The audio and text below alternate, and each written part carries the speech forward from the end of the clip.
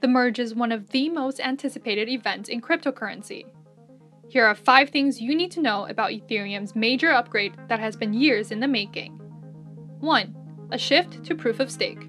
As part of the plan to enable a faster and environmentally friendly process, the Ethereum protocol will shift to a proof of stake consensus mechanism for authenticating transactions.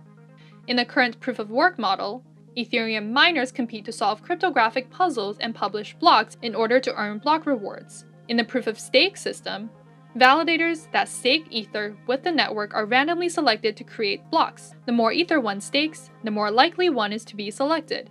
So, what is staking? Staking is the process of locking up an amount of Ether in a smart contract as sort of a collateral in exchange for the opportunity to earn some sort of network reward. It ensures that validators fulfill their obligations and are honest in their validations.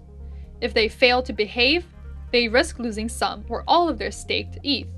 Anyone can become a validator if you have some ETH. A minimum of 32 Ether, currently worth about $50,000, needs to be locked up in Ethereum's beacon chain, also known as a proof of stake network, to qualify to run a validator node and become a validator. For many, that's a big initial investment, there are also staking pools, managed by third parties like Coinbase and Binance, where participants can contribute any smaller amount of ETH in return for proportionate amount of rewards earned by the pool. Ethereum fees don't decrease post-merge, at least not right away. The upgrade to Ethereum's backend won't target transaction costs, or gas fees.